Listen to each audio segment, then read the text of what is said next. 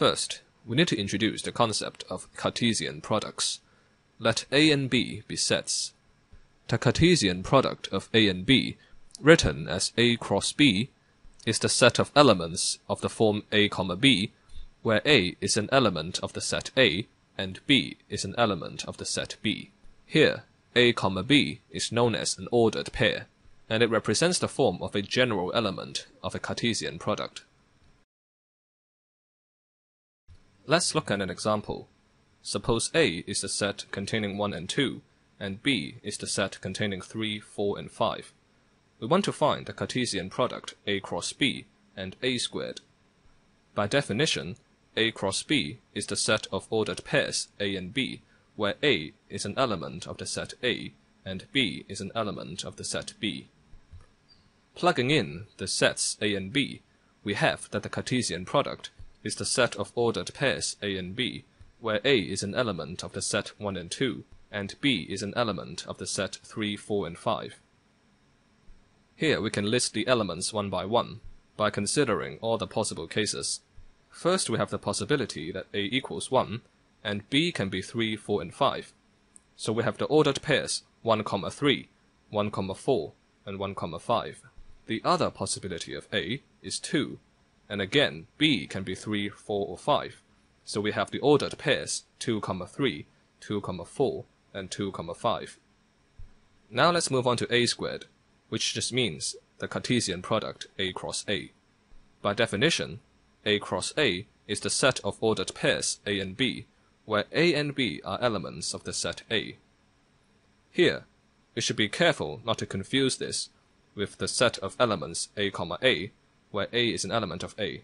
This set enforces that both numbers in the ordered pair are the same, and it is not equal to the Cartesian product in general. Going back, since the set A contains the elements 1 and 2, the ordered pairs are 1, 1, 1, 2, 2, 1, and 2, 2. Here, we observe that the order of the set A cross B is 6 it is equal to 2 times 3, which is the product of the sizes of the sets A and B. Also, the order of A squared is 4, which is 2 squared, which is equal to the square of the order of A.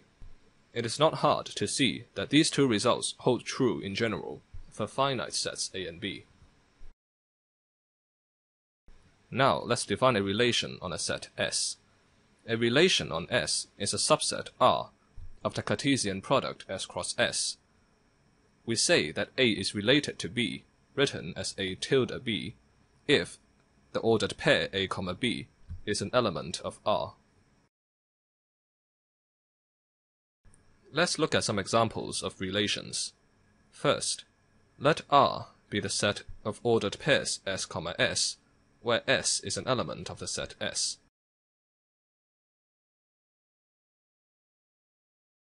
Here, A is related to B if A, B is in the set R, which means that A has to equal to B. This R is also called the diagonal. As a second example, let S be the set of real numbers, and we define R to be the set of ordered pairs x, y in R squared such that x is less than or equal to y, and this is by definition a subset of R squared.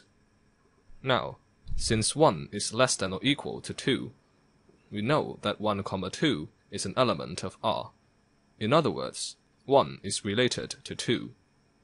On the other hand, 4 is greater than 3, so 4, 3 is not an element of R. In other words, 4 is not related to 3. Now, let S be a set of size n. We want to find the number of relations on S. We call that a relation is a subset of S cross S. So this is equivalent to finding the number of subsets of S cross S.